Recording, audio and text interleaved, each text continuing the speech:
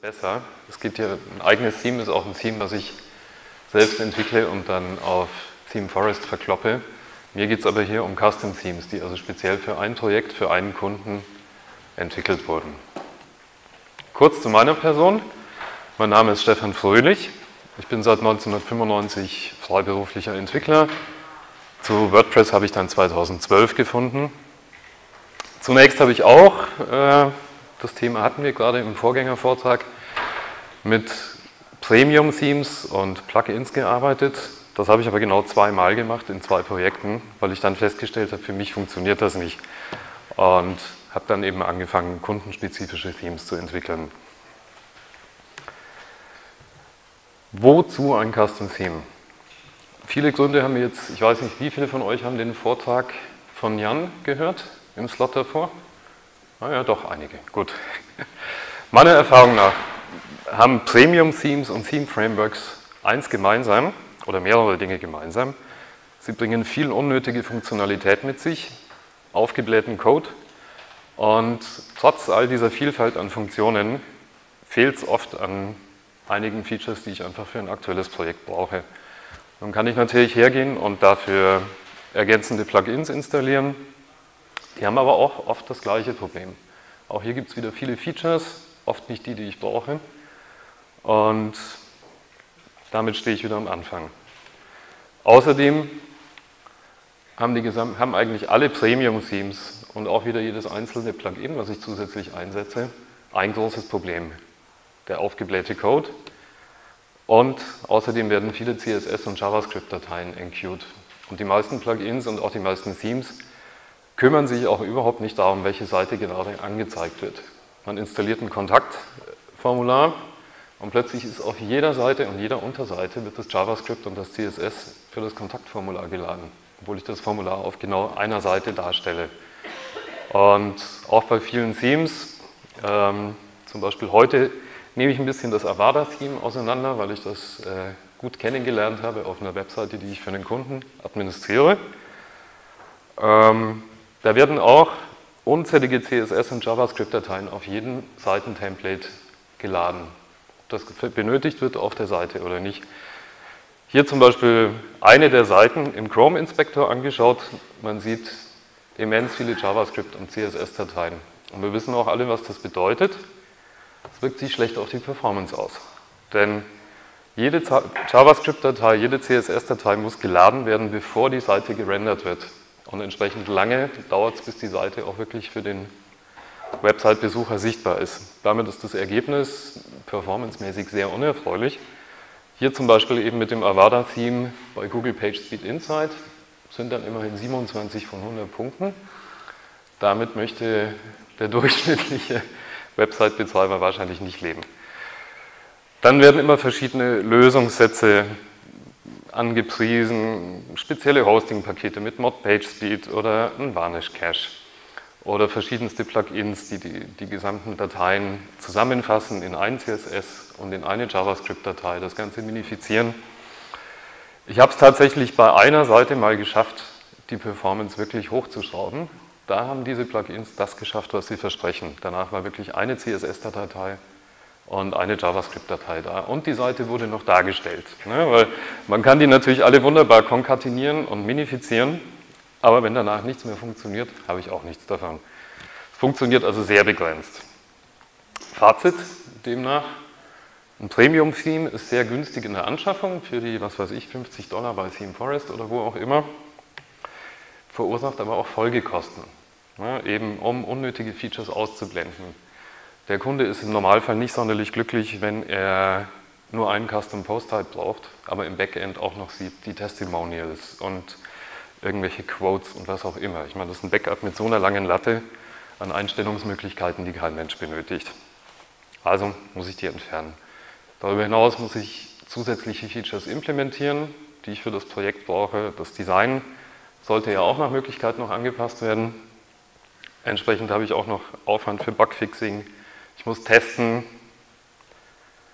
habe eventuell Kosten für zusätzliche Plugins, habe Kosten für entsprechendes Hosting, aber ich habe dann vielleicht ein verbessertes Ergebnis.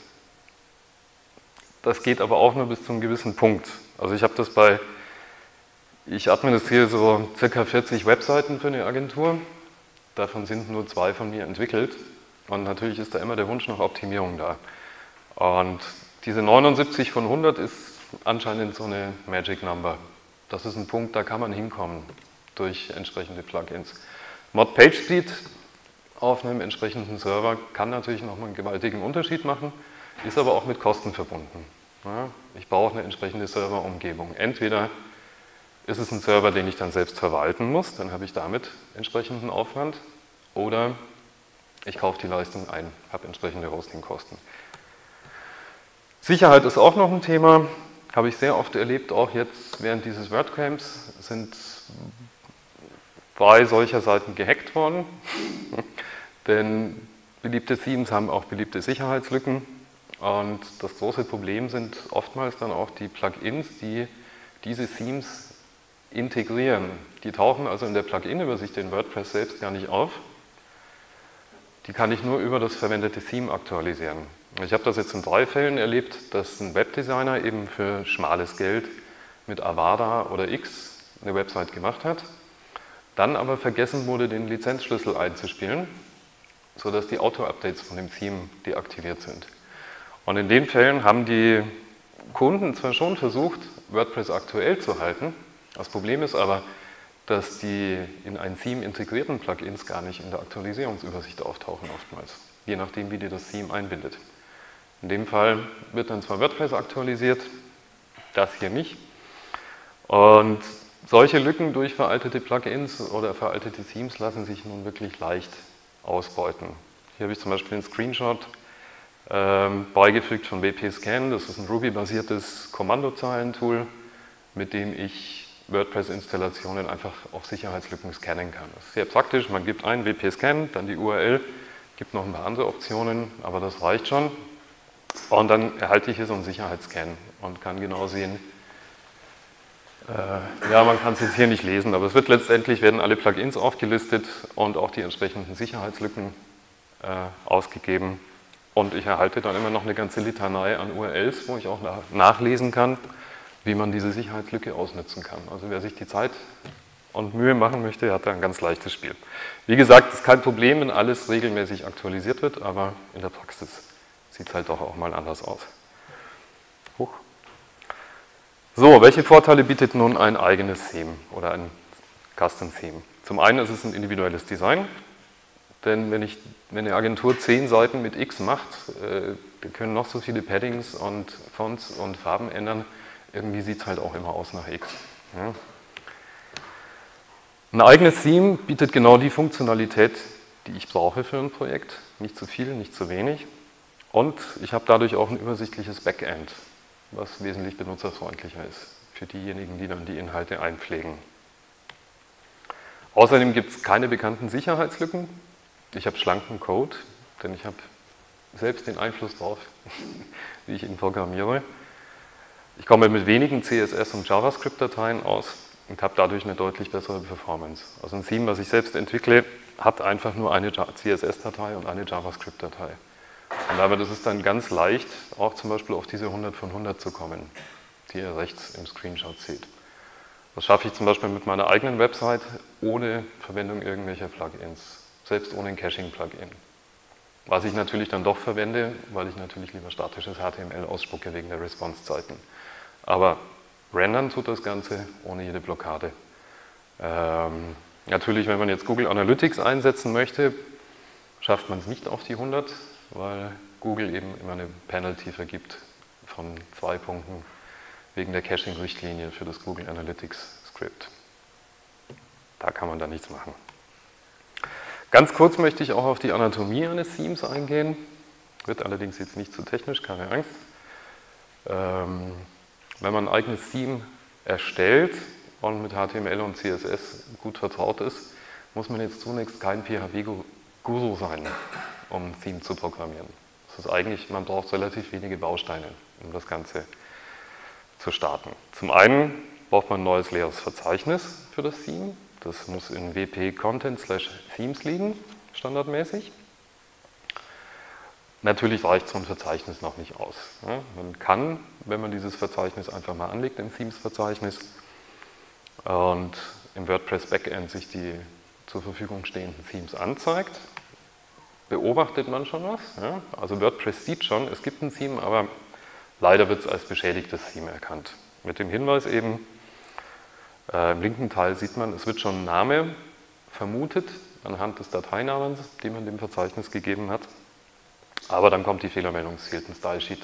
Dieses Style Sheet ist die Style CSS, die ihr wahrscheinlich alle gut kennt.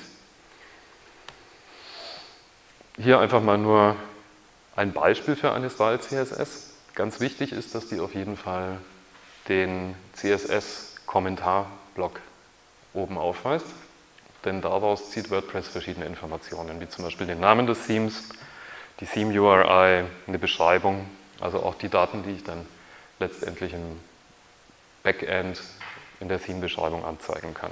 Darüber hinaus muss die Style CSS nichts enthalten. Also ich verwende zum Beispiel überhaupt keine CSS-Regeln in der Style CSS. Ich mache das in einer gesonderten Datei, die dann entsprechend enqueued wird. Die dient jetzt in diesem Fall auch nur der Beschreibung.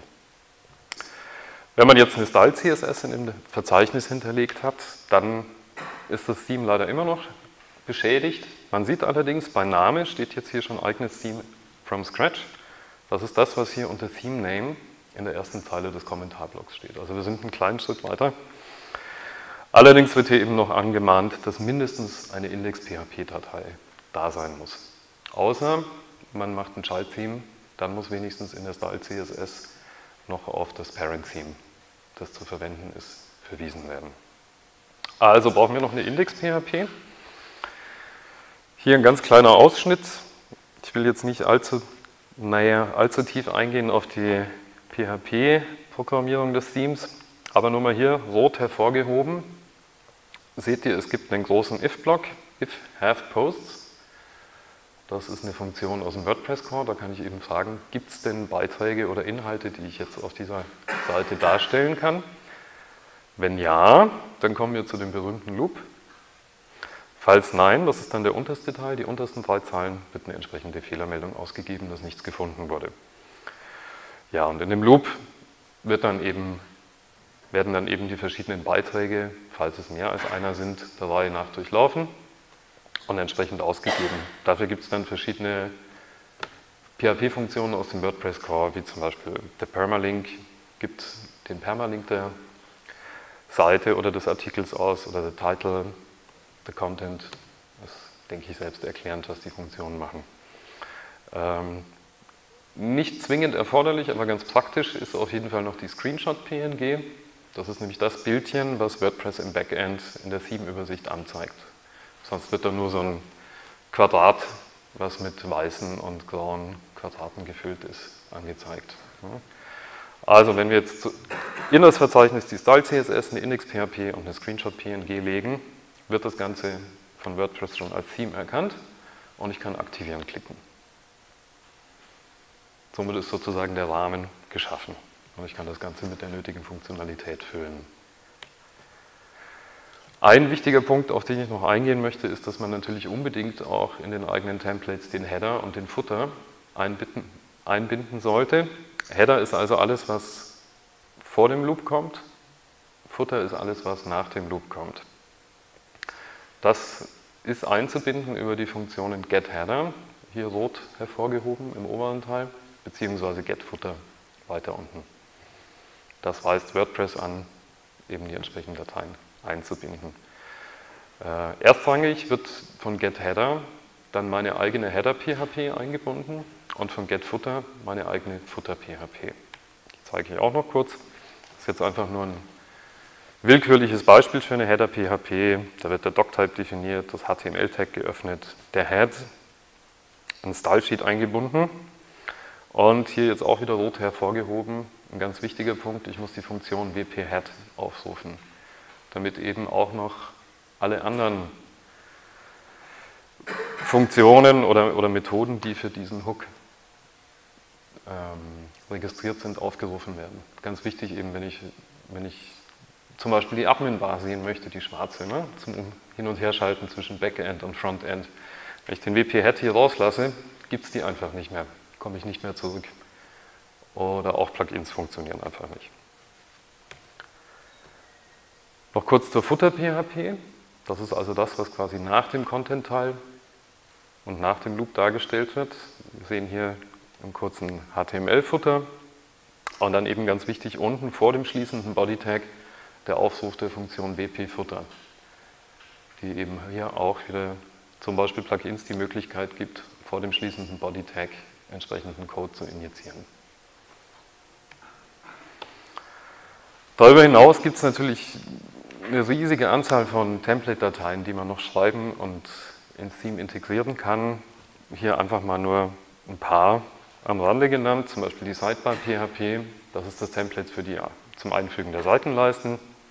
Ganz wichtig, die Functions-PHP, wo ich verschiedene Einstellungen definieren kann, Styles und Scripts enqueuen oder dequeuen.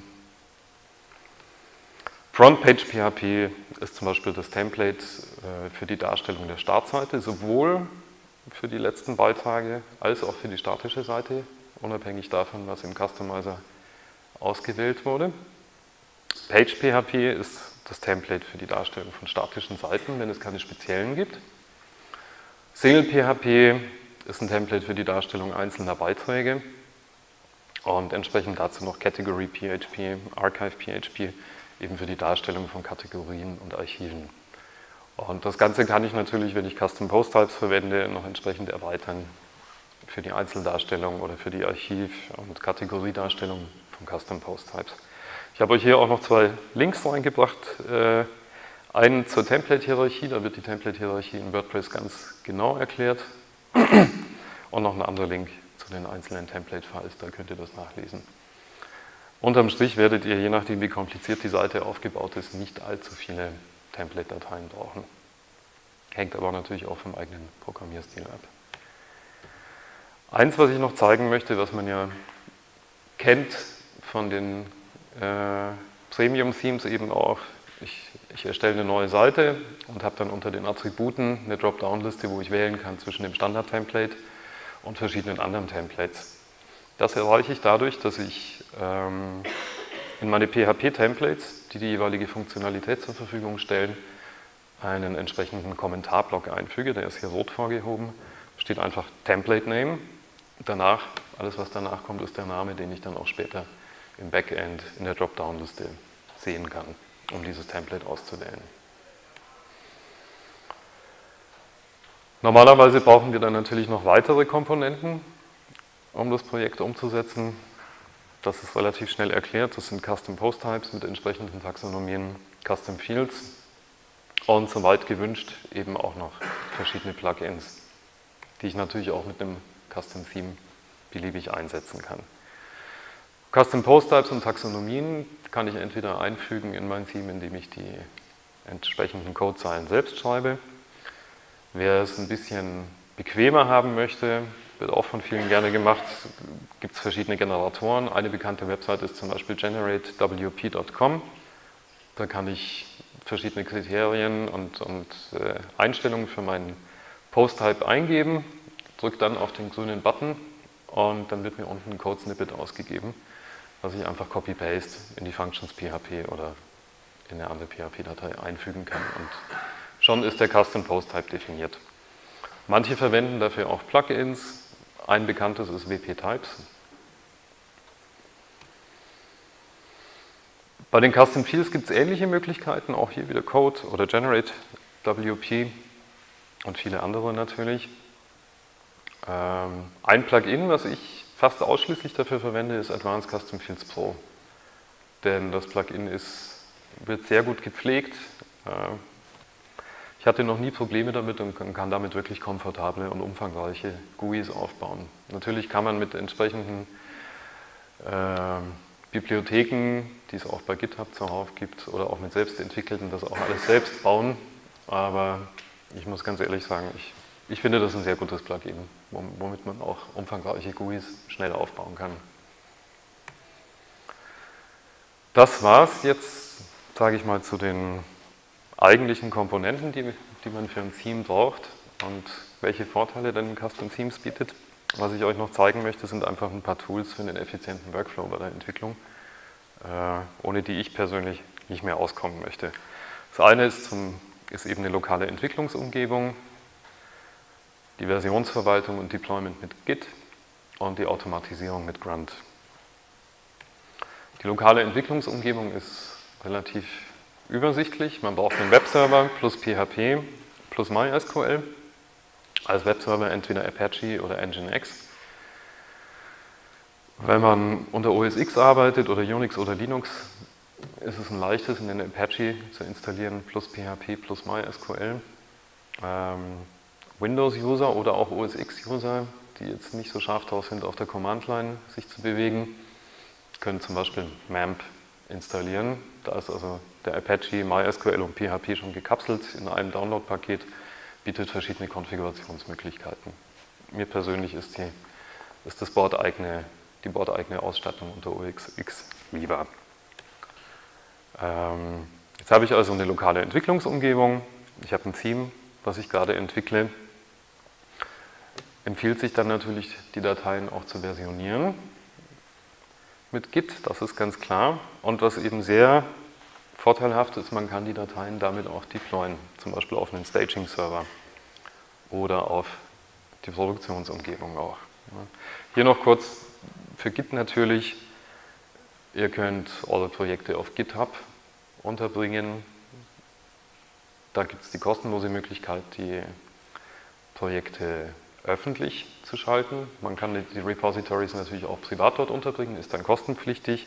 Andere Möglichkeit wäre zum Beispiel vertrauliche Projekte auf Bitbucket.org unterzubringen. Zum Deployment mit Git. Ich habe jetzt also hier meinen lokalen Rechner ganz links mit meinem Repository. Ich habe jetzt gerade ein neues Bild von meinem Theme gemacht und möchte das auf dem Staging-Server dem Kunden zeigen oder auch einfach mal übers Web ausprobieren. Dann pushe ich mein Repository in dem Fall auf Bitbucket. Und Bitbucket und natürlich auch die ganzen anderen Anbieter bieten die Möglichkeit, dass man Hooks definiert. Ich kann also sagen, in dem Moment, wo ich auf den Server etwas pushe in mein Repository, führe diese oder jene Aktion aus. Und ein sehr nützliches Tool ist dann in diesem Fall eben den Hook zu definieren, der in dem Moment, wo ich auf, das, auf den Server pushe, ein Skript auf meinem Staging-Server ausführt, was automatisch den Git-Pull ausführt. Sprich, in dem Moment, wo ich lokal meine Änderungen committe, die auf den Server pushe, löst der Hook auf meinem Staging-Server ein Skript aus, was automatisch den neuesten Stand der Dateien auf den Staging-Server holt. Heißt, mit einmal Apfel S und einem Commit und einem Push ist das Ganze auch schon sichtbar im Web. In der Produktionsumgebung würde ich das natürlich nach wie vor manuell machen, äh,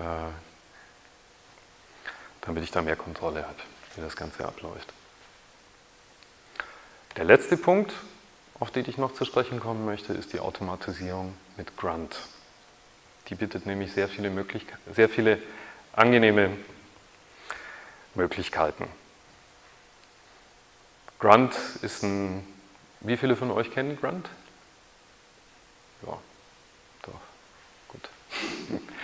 ähm, Grunt ist ein JavaScript Task Runner, also eine Möglichkeit, äh, Vorgänge bei der Entwicklung zu automatisieren. Und für mich die, die, die, die elementarste Task, wir sehen also hier unten, mein Team besteht aus verschiedenen Dateien, jetzt mal exemplarisch SCSS, PHP, JPEG, SVG, was auch immer. Grunt beobachtet die Verzeichnisse, die ich konfiguriert habe mit der Watch-Task und schaut einfach, ändert sich was.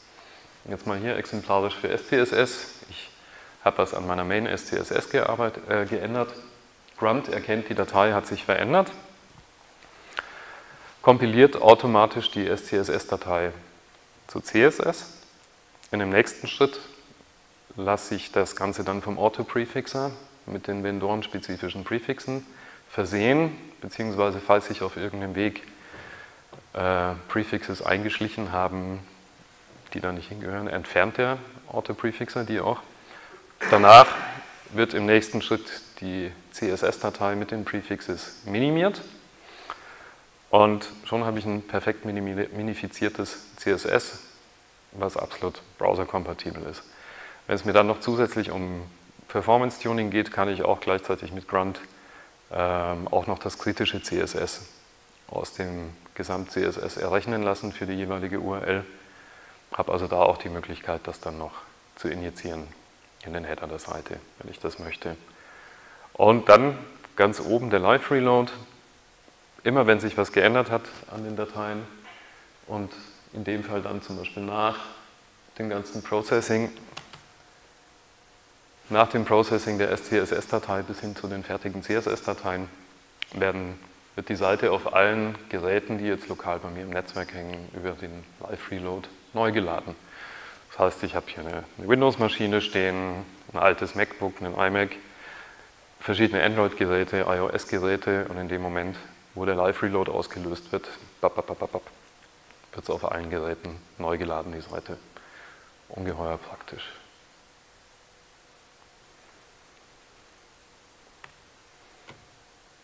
Damit bin ich dann auch schon am Ende meines Vortrags. Gibt es noch Fragen? Ja, gleich hier.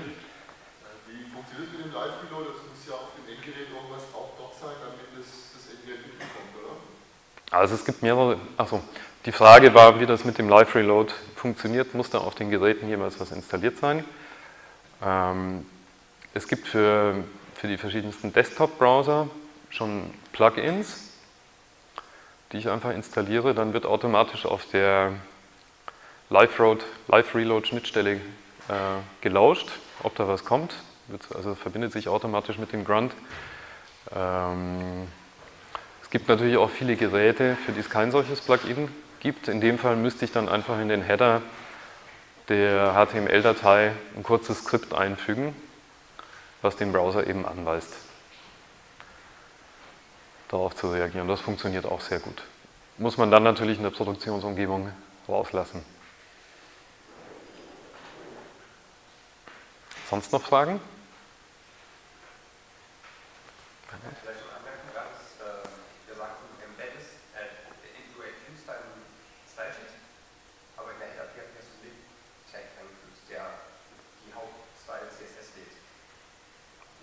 Du meinst in, der, in, der, in, dem, in dem Beispiel Header PHP? Ja, das, das war einfach nur ein willkürliches Beispiel. Enqueue würde ich es, wie ich dann nachher auch dann äh, kurz gesagt habe, Enqueue würde ich es in der Functions PHP natürlich. Brauchst du die Zeile nicht, damit es über brauchst du den Link-Tag nicht, damit es über Genau, also bei mir geht um diesen Punkt. Na. Hier, genau.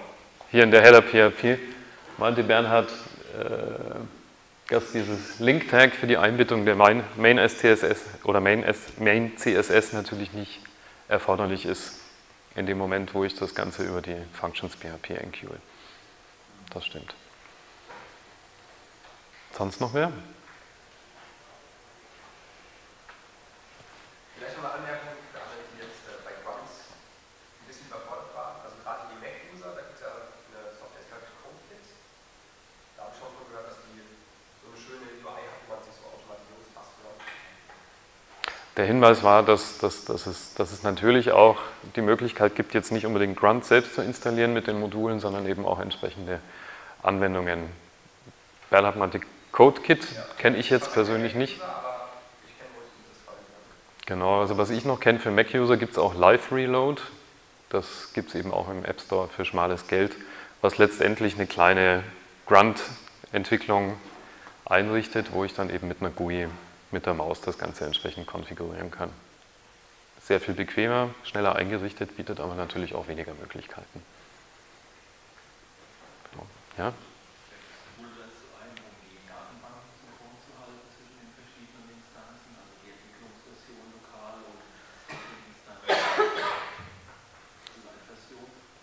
Die Frage war, welches Tool ich einsetze, um die Datenbanken synchron zu halten von den verschiedenen Entwicklungsstages. Ähm, eigentlich keines. Also lokal habe ich einfach Testdaten, um die Funktionalität des Themes zu testen. Und meistens lasse ich die, je nachdem welchen Zeitplan das Projekt auch hat, meistens lasse ich einfach den Kunden schon mal auf, dem, auf der Staging-Umgebung anfangen, einen gewissen Datenbestand einzugeben und spiegle mir den dann einfach lokal, falls ich ihn tatsächlich mal brauche. Und Sag mal, wenn dann ein bestimmter Datenbestand da ist, wird der auf die Produktionsumgebung eingespielt und der Kunde kann von dort aus weiter pflegen.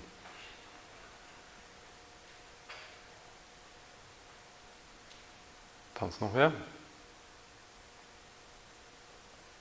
Gut, dann sind wir am Ende meines Vortrags. Herzlichen Dank für eure Aufmerksamkeit.